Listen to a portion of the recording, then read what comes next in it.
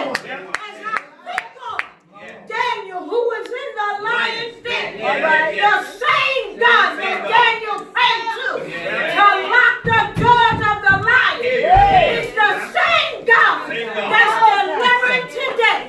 To God be the glory for the things that He has done. For He is mighty to save. He is mighty to save. We bless you, Lord, for bringing us this far in the convocation. Right now, I'm feeling all right.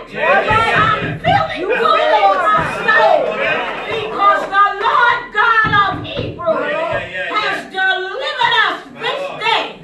We say thank you, God. We say Abba Father. God bless you, children of Israel. God keep you. All right now. God deliver you whatever it is that you're asking for. Seek the Lord. Seek the Lord while he may be found. And call upon him while he is near. God bless you. God keep you is my prayer. Amen.